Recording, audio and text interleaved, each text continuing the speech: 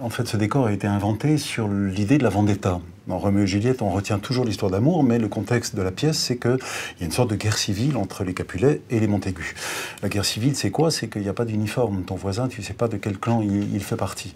Et la plupart du temps, les vendettas, on ne sait pas d'où elles viennent. Les gens se tapent dessus pour des histoires qui sont remontées, on ne sait pas d'où, tout le monde a oublié l'origine. Et pour ça, je voulais que le décor soit comme euh, le souvenir d'une haute architecture avec euh, des sculptures délicates, avec des corniches, voilà. Et puis à l'intérieur, j'ai demandé à Christian Lacroix de faire des costumes assez simples, voilà, comme si, comme si les gens avaient oublié la magnificence dans laquelle ils vivaient, ils avaient totalement oublié, ils ne s'en occupaient plus. Et pour moi, ce, ce, peu de respect est quelque chose de l'ordre de la vendetta. Donc cette chose-là était donnée euh, avant tout. Il y a des tableaux comme ça au Louvre que j'avais observés où, des peintres s'amusaient à dessiner des ruines euh, grecques absolument immenses avec des tout petits personnages. Et les tout petits personnages vivent un petit peu leur vie de tous les jours. Et ils sont mis en contradiction justement avec l'impérieux volume, l'impérieuse verticalité des, des, euh, des, sculptures.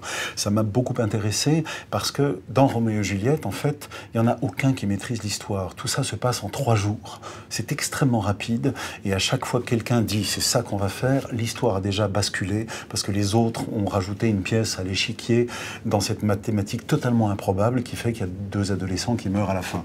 Euh, et donc, pour bien induire ce sens, justement, qu'on n'ait pas à y réfléchir, je voulais que les acteurs soient petits dans des décors qui les dominent absolument. Comme si on disait l'histoire nous domine. Voilà, je, je, ne peux rien y faire, je ne suis pas de taille. Voilà. Et puis, dans un théâtre à l'italienne, on est à plat sur un plateau. Et euh, c'est toujours difficile d'aller un petit peu au-dessus. Donc on adore essayer de travailler dans la verticalité quand c'est possible. Et Juliette, quand elle sort de son balcon, quand elle s'adresse au public, elle est exactement, j'allais dire presque au cœur, euh, au cœur de la mire, comme ça, du, du, du cadre, et elle est directement au même niveau de tout le monde. C'est petit un théâtre, c'est une, petite boîte de chaussures comme ça, c'est toujours la même chose, il y a toujours un cadre au-dessus, il, y a le grenier, il y a le plancher, il y a la cour, il y a le jardin, euh, ça, ça bouge pas, et à l'intérieur de ça, on fait tous les voyages du monde. Donc ça c'est fait avec des ingrédients euh, extrêmement maigres. Le cinéma a des ingrédients décoratifs euh, évidemment beaucoup plus grands. Mais la magie, c'est le live. C'est ce qu'on appelle, nous, le hic et nunc, le ici et maintenant.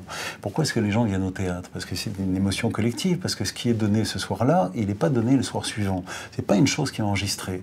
Et finalement, les acteurs de théâtre sont des héros d'une certaine manière, parce qu'ils sont capables d'avoir des émotions qu'on ne voit pas venir et au moment présent, sans aucun trucage. Et les gens le voient, cette chose-là. Donc, c'est quelque chose de l'ordre d'un événement, de l'ordre de la vie, l'irruption de la vie. Et les gens viennent pour ça euh, au théâtre. Euh, la caméra elle vient chercher en gros plan.